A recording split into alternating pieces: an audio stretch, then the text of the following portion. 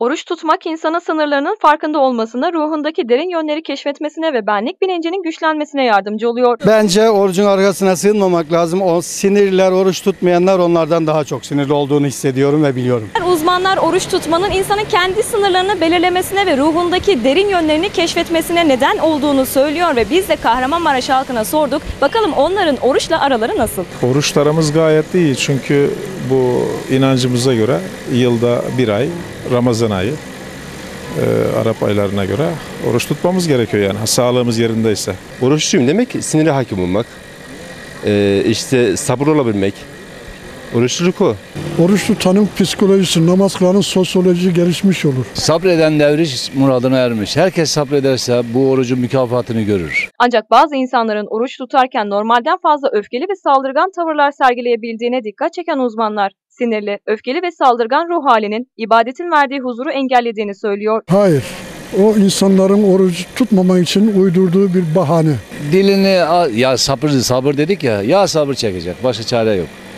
En güzel Allah'ın adını anmak. O tamamen e, saçma sapan bir şey yani. Yani sinirliyse veya sağlık sorunu varsa doktor tavsiyesi üzerine orucunu tutmayabilir yani. Oruçla aram çok iyi.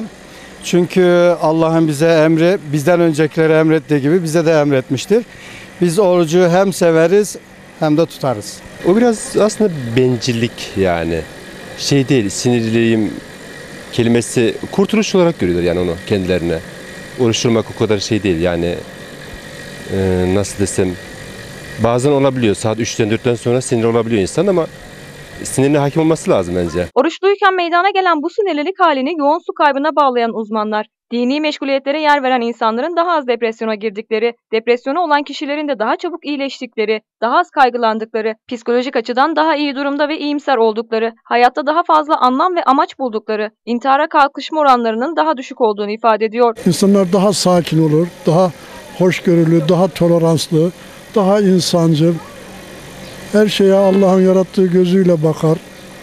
O oruç tutmamanın bahanesi sinirli olmak, yok asabi olmak bunlar lafı güzel. Oruç şeydir yani sağlığın zekatıdır. Yani yir- e, 12 ay yiyip içiyoruz sürekli bütün aktiviteleri yapıyoruz. Yılda bir ayda da kendimizi terbiye etmemiz için, nefsimizi terbiye etmemiz için, vücudumuzu belki bir çeki düzen vermek için oruç bir şeydir ya fırsattır yani.